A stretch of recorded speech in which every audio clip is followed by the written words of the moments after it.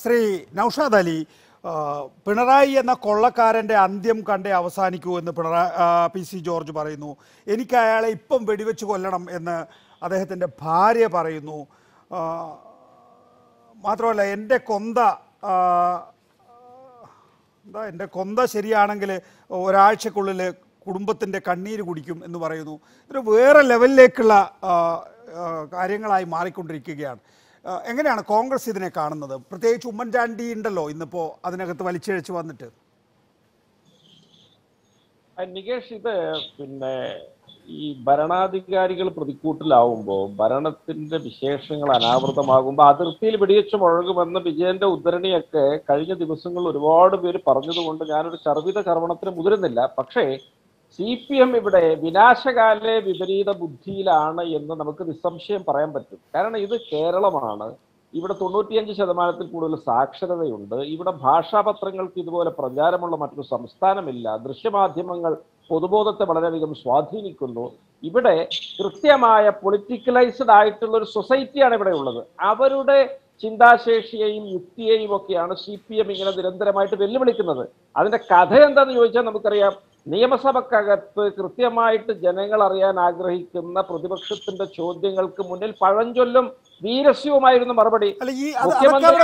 ഇതിനകത്ത് നിങ്ങളുടെ പൊസിഷനിങ് എന്താണ് അല്ല അത് അത് അത് അതാ ഞാൻ പറഞ്ഞത്. ഈ മുഖ്യമന്ത്രിയുടെ ക്ഷുഭിതമായ വാചകങ്ങളൊക്കെ തൊട്ടടുത്ത ദിവസവും മണിക്കൂറിലൊക്കെ ഉള്ളി തോൽ പൊളിയും പോലെ അതിലെ കള്ളവും പുളിവചനവും ഒക്കെ പൊളിഞ്ഞ ഒരു സാഹചര്യത്തിൽ വിഷയത്തിൽ നിന്ന് ശ്രദ്ധ തിരിച്ചുവിടാൻ വേണ്ടി നടത്തുന്ന ഓരോരോ അഭ്യാസങ്ങളാണ് പക്ഷെ ഇവിടെ പരാതിക്കാരി പറയുന്നത് ഫെബ്രുവരി പത്താം തീയതി അവർ പി സി ജോർജിന്റെ അടുത്തേക്ക് പോകുമ്പോഴുള്ള ഓരോ സെക്കൻഡും അവർ റെക്കോർഡ് ചെയ്തിട്ടുണ്ട് എന്നുള്ളതാണ്. ആ തെളിവനുസരിച്ചാണ് ഇപ്പോൾ പോലീസ് എഫ്ഐആർ ഇട്ടിരിക്കുന്നത്. അപ്പോൾ പിന്നെ അതിനകത്ത് അങ്ങനെ തെളിവുണ്ടെങ്കിൽ ആ പരാതിയുടെ അടിസ്ഥാനത്തിൽ കേസെടുക്കണ്ട എന്നാണോ? ഒരിക്കലും അല്ല എ കെ ജി സെന്ററിന്റെ ബോംബെറിഞ്ഞു എന്ന പരാതി ഇവിടെ ചീറ്റിപ്പോയി. ആ വിഷയം തന്നെ പ്രതിയെ പിടിക്കാതെ ഇപ്പൊ ഇരുട്ടിൽ തപ്പി നിൽക്കുകയാണ്. ഇപ്പോ ഈ പിന്നെ ചോദ്യത്തിന് മറുപടി പറയൂ ശ്രീ നൌഷാദ് അലി. ഞാൻ എന്റെ ചോദ്യം എന്താണ് ഇതിനകത്ത് തെളിവുണ്ട് എന്നാണല്ലോ പരാതിക്കാരി പറയുന്നത്. തെളിവുണ്ട് എങ്കിൽ പി സി ജോർജിനെതിരെ കേസ് എടുക്കാമോ സോളാർ കേസിലെ പരാതിക്കാരിയെ സംബന്ധിച്ചായാലും ആർക്കായാലും അവരുടെ മാനത്തിന് ഭംഗം നേരിട്ടിട്ടുണ്ടെങ്കിൽ തീർച്ചയായിട്ടും നിയമം നിയമത്തിന്റെ വഴിക്ക് തന്നെ പോകണം. അതിനകത്തൊന്നും യാതൊരു തർക്കവും ഇല്ല.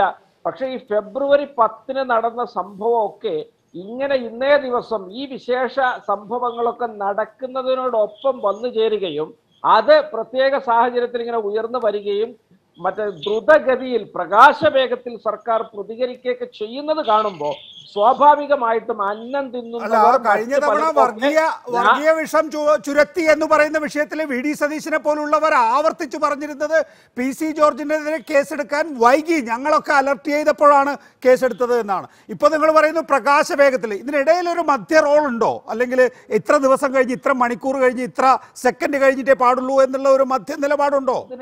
ഇതിനകത്ത് നിങ്ങൾ അങ്ങനെയൊക്കെ തമാശ പറഞ്ഞത് കൊണ്ടൊന്നും ജനങ്ങൾ ചിന്തിക്കുന്ന വഴിയൊന്നും തെറ്റിപ്പോയില്ല നികേഷ്. ഇവിടെ ഇവിടെ പീഡനത്തിന് പരാതി കൊടുക്കുന്നു ഇന്ന് രാവിലെ. അവിടെ ആ പിന്നെ പ്രതിയായ ആൾ അവിടെ ഹാജരുണ്ട്. അയാൾ അറസ്റ്റ് ചെയ്യുന്നു. അത് വലിയ വാർത്തയായിട്ട് ബ്രേക്ക് ചെയ്യപ്പെടുന്നു.